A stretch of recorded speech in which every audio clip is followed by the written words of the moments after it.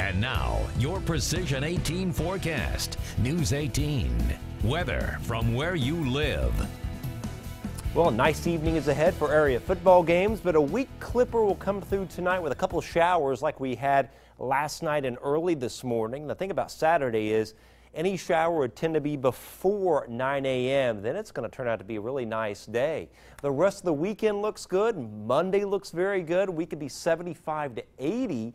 The record generally in the viewing area for most communities about 80 to 82. So be close to that with strong winds Monday.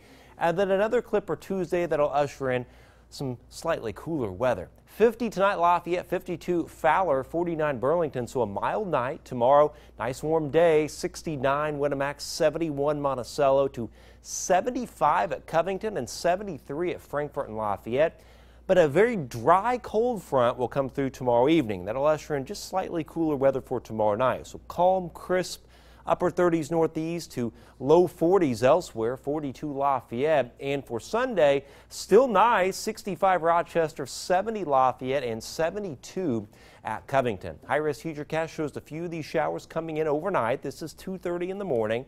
Few showers then and around 4 o'clock in the morning. And then Boy, by 9 o'clock, we're getting them out of here, and after that point, even the clouds start to erode away. That's 1.30 in the afternoon, and notice how we're mostly clear for the rest of the day. We're clear tomorrow night, and keep it on the clock. Right through Sunday, sunny skies. Perfect day on Sunday with no clouds to even speak of. But then by Tuesday, a clipper will drop in out of Alberta, move into Kansas, then kind of round the bend and move northeastward. Now, not going to have a lot of moisture to work with, but I do think it could bring a few showers and thunderstorms to the area. Now, it's got a lot of strong wind fields in the atmosphere with it. It's a pretty dynamic system. If it were more unstable, more tropical in our area, we could even have a severe weather threat, but that does not look to be the case right now. 7-day forecast shows the nice warm weather with the 70 on Sunday, the 52 Sunday night, 76 windy on Monday. The thing is, we get winds gusting to 40 miles an hour on Monday,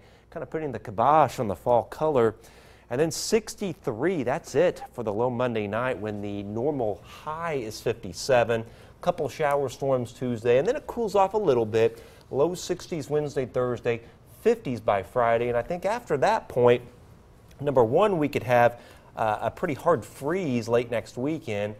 And then by around November the 5th, much warmer and perhaps a one to two inch rain with storms too. So it's November. It's going to start to get active. Yeah, something tells me though that we're going to pay for all this warm weather at, in the fall. Isn't that what always happens Yeah, here? We never is. get by easy. The yin and the yang. All right, Yeah, thank you very much, sure. Chad. Hey, sectionals on the Friday night frenzy. That's right. Uh, we have season high 14 games tonight in sectionals. Coming up, we'll take a look at which games the Frenzy crew will be.